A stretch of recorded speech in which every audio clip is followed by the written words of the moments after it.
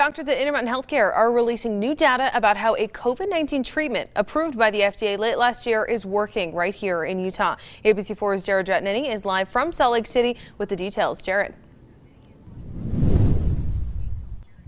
Sarah, will doctors say the use of monoclonal antibody treatment helps reduce severe illness among COVID patients? Now, doctors here at Intermountain Healthcare say that they have found treating high risk COVID 19 patients with this antibody treatment reduces severe illness and hospitalizations by more than 50%, and says the treatment saved many patients from dying due to complications from the virus. The antibody treatment must be given to patients within seven days of symptoms and is most effective for first time COVID patients most effective in patients who do not have antibodies against COVID 19. Because recall, monoclonal antibodies mimic the, the body's natural antibody response.